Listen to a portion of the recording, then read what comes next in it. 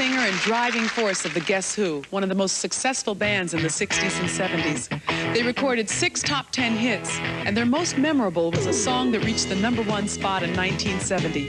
Here to sing that solid gold classic, American Woman, please welcome Mr. Burton Cummings.